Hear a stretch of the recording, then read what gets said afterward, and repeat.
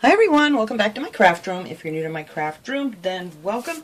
Today I want to work on, well, one of them. I've got a couple I'm going to be doing here, but my first one here, um, decoration that I want to make for after Christmas. Because you guys know we decorate for crazy, craft like crazy for Christmas, and then after Christmas we put it all away, and it is just blah for the rest of the winter. So, we're going to make some pretty winter um, decorations. And I got this little sleigh here at Hobby Lobby, and it was $3.99 and they were 50% off then. And if you want to check like right after Christmas they'll probably be even cheaper than that. Um, best time to get this kind of thing. And then I'm just going to use up some um, odds and ends. This I cut off. I know I'm all over the place here today. It's cookie making day so I was making cookies most of the day. Um, trying to get ready for Christmas here but I wanted to get one of these videos up for you guys. So this is actually pines. This is what's left of my Dollar Tree Christmas tree. I've cut every single thing off of it now. I got a lot of use out of this thing. So I cut all the branches, the rest of the branches off of that, and I have those right here. And when you get up towards the top of the tree, they're, you know, little, so we have a bunch of different sizes for that. And then I can just get rid of that other piece. And I'm going to use some of the eucalyptus, the white. I think that's really pretty and some of these pine cones. This actually came off. It was on one of these picks, and I just cut it off, and it has a nice wire in it, which is good. A piece of scrap foam that I had left over for something, from something rather, and some of these, you know, ferns and things that they had at the Dollar Tree. I have one right here, and these are really pretty. So we're going to do everything just kind of in green and white and with our pine cones. No Christmas colors here. Now for my sleigh, I want to paint this whole thing white. I'm going to have to go over to a little sandpaper a little bit more, I think. Um, I did get some of it, but I think I missed that side. But anyway, I'm going to take some of the cottage white chalk paint. You can use any chalk or any paint you want. You could use acrylic, but you may need to put on extra coats of acrylic. I just like the chalk paint because, you know, it just covers really well. And I'm going to have to get open up a new one of these. So that's all I'm going to do. I'm going to paint everything on here white, and then we're going to come back and do some more decorating here on this. I think I want to use like a snowy kind of glitter um, just on the rails on the bottom, and maybe, I don't know, a few dots of things here and there. I'm not sure yet. But I'm just going to paint the entire thing white, because you don't want this thing to come out looking too Christmassy or anything. And we want to just leave this out, you know, just to pretty things up for the winter. But see, this stuff just covers so well. That's why I love it. But before I do any more of this um, towards the other side there, I got to sand that off. I'm going to have to let this dry now and sand that off. But that is it. The whole thing, everything, rails underneath. I got to get that tag off of there yet. But I'm just going to go around and paint this whole thing with two coats of the white chalk paint. And then after that dries, we're going to come back and finish decorating it up. Alright, this is nice and dry now.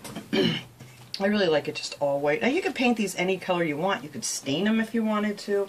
Um, I just wanted to do something just in a white. So now for the other edges of it here, is this is what I did. I figured I'd get one side done here so it could dry. I did all the runners in just the glitter, and then I did the little dots just around the edge. And that's all I'm going to do to this besides, you know, fill it up with a bunch of really good, pretty goodies. What I'm trying to say. But I use this extra fine glitter. This I got at Michael's. They had these like, you know, where you go to check out. They usually have those bins there stuff of, you know, dollar items. This was, I don't remember how much these were. These might have been $2. I'm not sure. I don't remember. Got these last year. But this is like a real pretty white, glittery glitter. Which I said I was over glitter this year, but we're going to do this one. So anyway, for around the edge of this thing, all I did was I take this little embossing tool um, embossing tool rather that I get at uh, Dollar Tree and this is like one of my favorite tools. I don't usually use it for like embossing paper or anything like it's intended but I do use it to make dots. So we're going to put dots all the way around the edges of this. I'm not going to do the whole thing here on camera because it'll take me a little bit but um, that's it. I'm just taking the fat end. There's like a big end and then a smaller end I'm taking the bigger end and I'm just making dots to go all the way around my sleigh. Oh, another one in there. There we go. And um, that's it. That's all I'm going to do to do this part. Just going to put our dots on there. I think I just made that one go straight across. I kind of angled them a little. And you don't have to be perfect about it. But anyway, that's what I'm going to do. And I'm just going to go all the way around this whole edge and just dot it and sprinkle on some glitter. It's just that simple. And I like this. It's got a nice big opening on here so I can pour my glitter back in when I'm done. That's it. I just dump a whole bunch of it on there, tap it off, and that's it. And I love this stuff. It's really pretty. So you always want to do it over a piece of paper or something. I usually just use a piece of cardstock, and um, that works just fine to go right back in the bottle. And then for the runners, all I did was I took a paintbrush. Let me see if I can find a smaller paintbrush here. Um, of course I can't. I need to wash paintbrushes. I have so many brushes and I don't seem to have any brush that I'm looking for. Uh, let's see. Well, it really, really doesn't matter. Any kind of brush will do. But I like my flat brushes. So for this, all I did was just take a bunch of the Mod Podge, and you can get this. This is the glossy Mod Podge. It doesn't really matter, I don't think, which one you use. Um, I get these at Dollar Tree, although I haven't seen these in a while. But, um, and I just went around the front and the back of these runners. And this is real easy to do too. Bring it up a little bit there.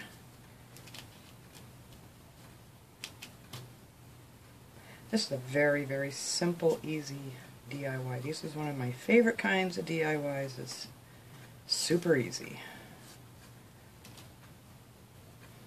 Alright, and that is all you do for that. And then on goes the glitter.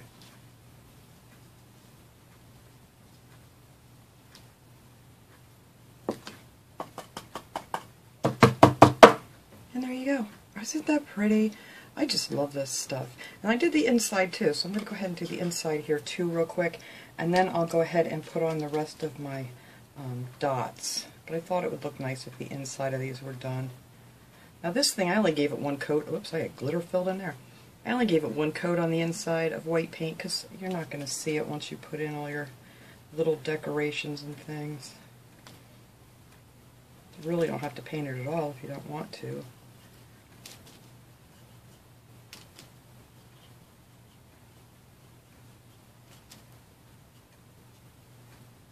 But, yeah. Thought I was up for a nice, easy project this week. So I like doing something, but you know, it's getting close to Christmas here now, and well, I really am about glittered out, but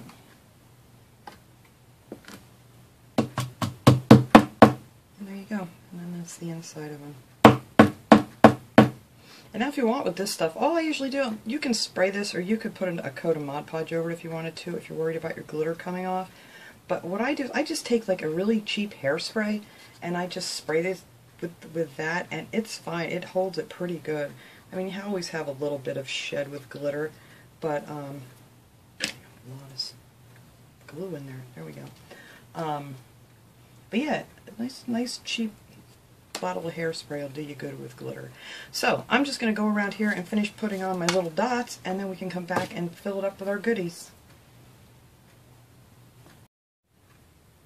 Alright, everything's nice and dry. I um, took a paintbrush and I brushed off all the um, excess glitter that was on here, so I think I've pretty much got all the stuff that's going to fall off off. Um, I don't remember if I showed you guys the size and stuff. This is 7.7 by 4.5 by 3 inch sleigh. Um, just in case you want to know what size this one was. It's not a real big one. It's not as big as like the one I did from Dollar General. Alright, I'm just going to take my little scrap piece of floral foam here and I'm going to glue that down on the bottom. A little hot glue. And there we go. This is the fun part and the easy part. I'm going to take my taller pieces that I have here, or longer pieces, whatever you want to call them, um, and put those towards the back of the sleigh. And I don't know, these are probably about three inches. We're just going to stick these back up in here. Just they'll lean up that way.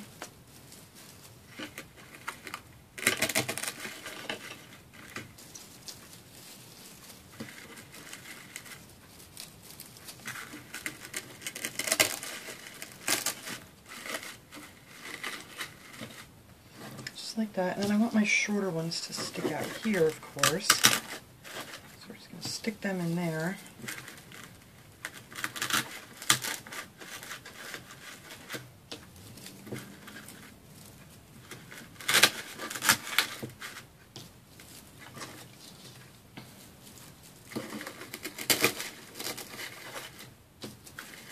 I just like to go around all around the edge first to get them filled in.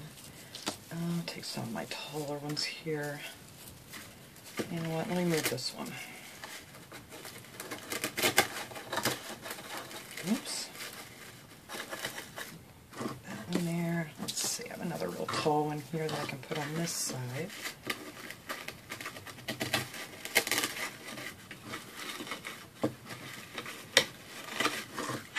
Come on now, bend the way I want you to go. There we go. And then on the inside, I just kind of like to crisscross these, and that actually fills up a lot of space. Like cross that one over there, and then if you take um, a longer one here, kind of put this one across this way, and then that fills right in your, your centerpiece without having to use a ton of these. But let me see, I got some of my littler ones here. I do want some of these on the edges.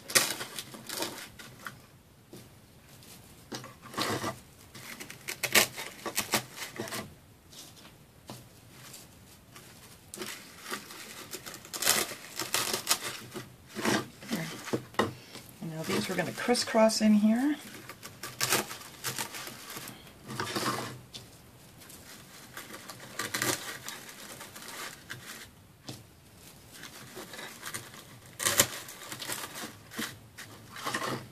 Like so. And we're going to put this one like on the other side coming out this way. And that'll fill that all right in. And I want to leave room down in here because I'm going to put my um, pine cones and things in here couple more these little ones up here. And let's see, that's just about it.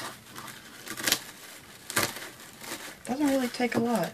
Like I said, if you crisscross them from one side to the other, um, it really fills up the space really easy. You don't need a ton of this stuff. Alright, that's a little tall. I'm going to bring him down a little bit. Alright, now we got those out of the way here. So now I'm going to take some of these little pieces of the ferns and things that I cut off. Um, I'm going to have these sticking out. I'm just going to hot glue these right on here. Nothing fancy. Just have that one sticking out here. And I have these taller ones. I might actually stick these up in the back here.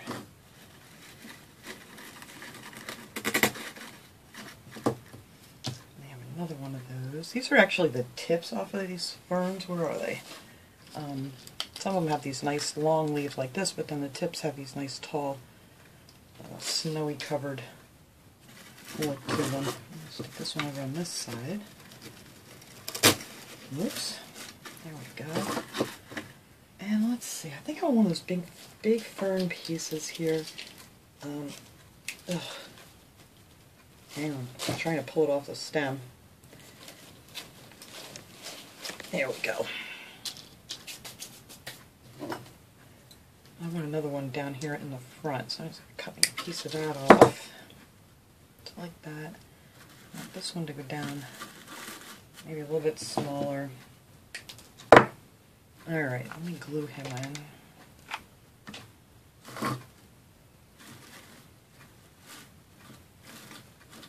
So that piece out there, I think that's pretty. And then I want a couple of these little eucalyptuses, eucalyptuses, whatever, uh, pieces just to stick out here and there. Put one up there, and one on the other side.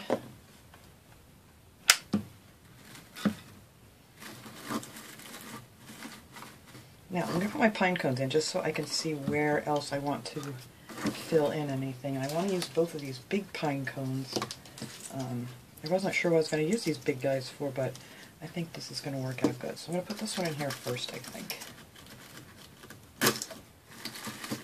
I kind of want it to tilt, which I should have bent it first, I guess. There we go.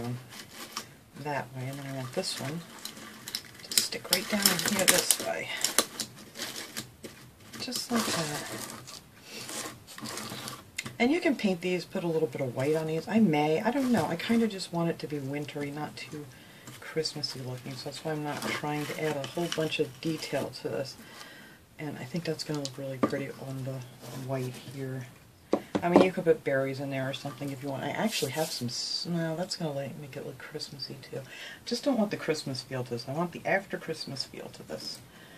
I might stick another one of these down in here. Yeah, I think I will. Stick that one right down in here between the pine cones. And, oh good, I have another one right here. I can put on the other side. And here comes another snowplow. we had about uh, between 9 and 10 inches of snow overnight, which is a lot of work the next day, but I think that is it. I think that is pretty much all I'm going to do to this. I don't know if I want to stick a couple more of these little pieces in there. Let me see.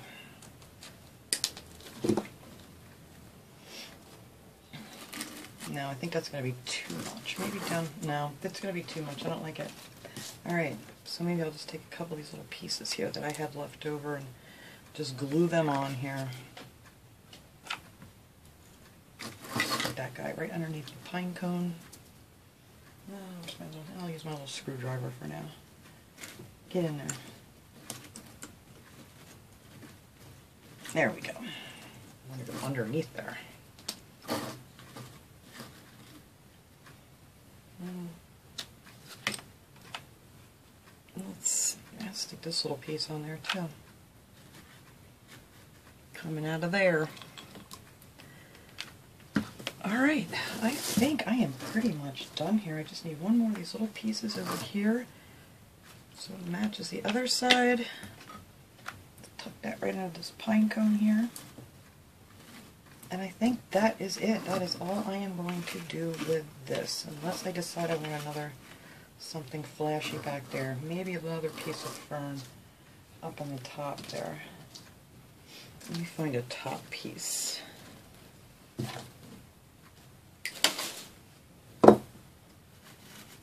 Let's see how it's going to look before I commit. Yeah, you know what? I like that back there.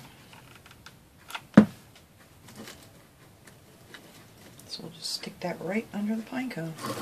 Alright, so I'm going to clean this mess up here and get a nice picture of this. Um, actually, what I'm going to add to this is this reindeer that came from Dollar Tree. It was a reindeer ornament, and it had this on it. I'm just going to take that off, and I think this will look cute just sitting in front of this sleigh, because um, they do stand up pretty decently. So let me clean this mess up, and I am going to take a nice picture of this all done. And then I will see you guys all next time. Thanks so much for watching, everybody. Have a great day.